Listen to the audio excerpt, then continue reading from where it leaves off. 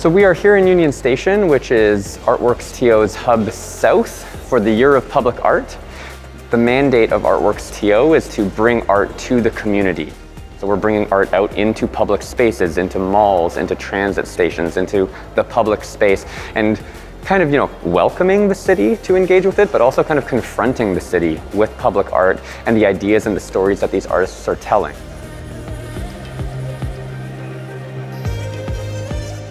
Tapping into artistic communities from Scarborough to Etobicoke, from North York to the Lakeshore, and drawing out artistic voices that you know your average Torontonian might not always get to benefit from and really platforming those voices and again kind of confronting the public with these stories. So we have a lot going on in Union Station itself. We have I Am Land exhibition curated by Maya Wilson-Sanchez as well as different artistic pop-ups throughout the station that speak to these ideas of community, that speak to the history of the land that Union Station is on. So we hope that everybody can come out to Union Station over the course of the Year of Public Art.